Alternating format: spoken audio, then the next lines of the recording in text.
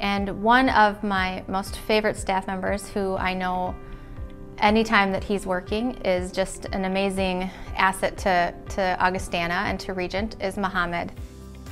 He may be a home health aide on paper, but to the residents and staff of Augustana Regent at Burnsville, Mohamed Wasuge is an angel.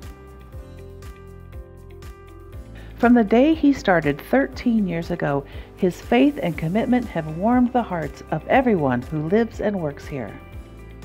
It's just um, a bright, bright spot in many of our residents' days. Uh, he's willing to pick up shifts, um, and he does it with a smile and whistling along the way.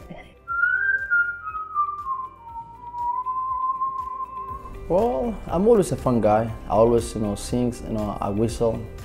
I make happy the residents. Sometimes, you know, I dance. I mean, I, any room I go, I make them happy. I feel like, you know, I, I welcome them home. I told them, this is like your home. I feel like your home.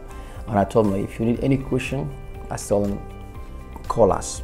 Because, you know, they, they want to see you so much, and I want to see them so much. Because I feel like I'm, I'm the like son of their child, the way they treat me. And I feel them like, these people welcome me like I belong here, you know. He sets an incredible example for other staff with the kindness and compassion he extends to those in his care.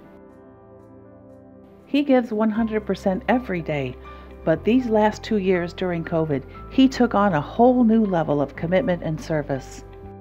I just can't even believe the hours that, that he put in in order to keep our residents and our staff safe in our building, you never knew that he was putting in those extra hours. He was never tired. He was never down.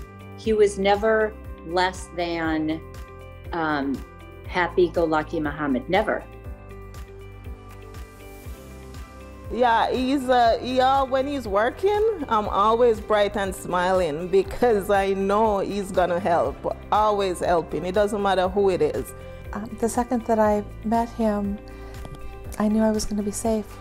He just keeps you uh, happy and he keeps you going. And if you have a down day or what have you, he's right there to lift you up. What can I say? He's just a, he's a good person. He's very helpful for the rest of us. I think he's a very nice person, and he loved helping uh, us old people. he really do help us. And uh, whenever I need help, he's right there, right on Johnny on the spot. Mohamed, I'm very happy for you, and I know that you'll cherish this award. Mohamed, I'm proud of you and keep up the good work. I really am proud of you. Please welcome the 2022 Caregiver of the Year, Mohamed Wasuge.